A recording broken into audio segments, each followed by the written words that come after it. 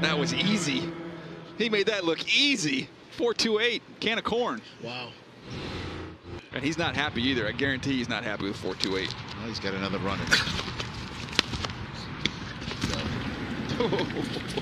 Imagine that. Simulcam presented by Old Spice.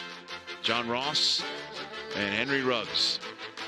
And sure enough, Ross at 4.22 backs up the fact that Ruggs was seven tenths of a second off of trying to break John Ross's 4.22.